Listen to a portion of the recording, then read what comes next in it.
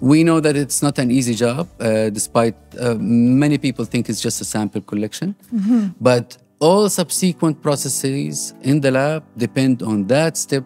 It's very important to understand that all those environmental changes, especially in our country where the weather condition can be sometimes reached to extreme, uh, you know, heat, uh, you have to make sure that uh, when upon delivering a sample, it goes into, uh, you know, acceptable temperature conditions. And how do you know that without having a continuous monitoring of the temperature? There is no more valuable uh, shipment than a human sample that is going to decide the outcome of the patient health. So the idea here is that you always have exactly the same method each time. Um, and the other side is that technically the machine could work 24 7.